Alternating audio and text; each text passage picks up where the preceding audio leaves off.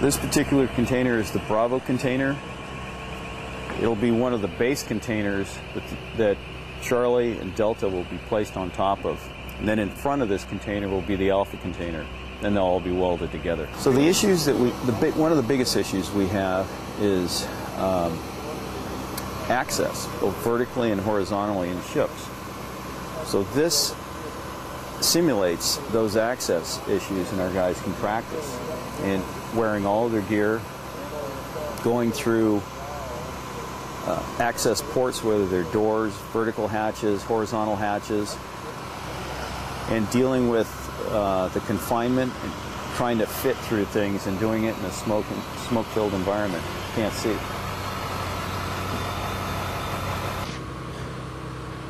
Second container is being put in place. It'll marry up to the first.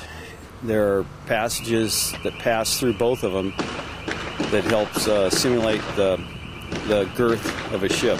The idea behind this entire prop is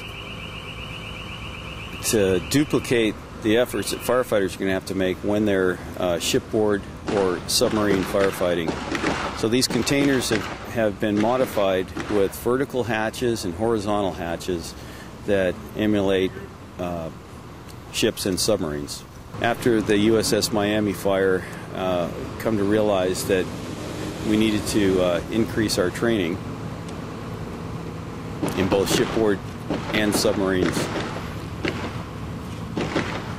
So the best way to do that is to actually have your own uh, trainers. That way you can work to your own schedule, rotate your people through, and this these are the first, or this is the first uh, Marine trainer uh, in any of the regions. So we're Southwest region. This is the first trainer being installed.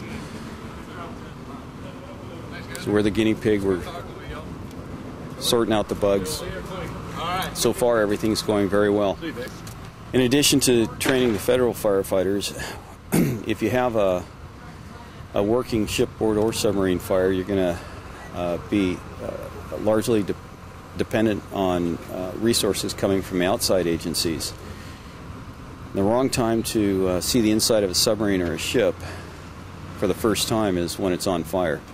So this way, with, with these new tools, we'll be able to uh, not only train our federal firefighters and our city firefighters, but having them work together in developing the trust relationships that are absolutely paramount to shipboard or submarine or any kind of firefighting from that matter. In the recent past,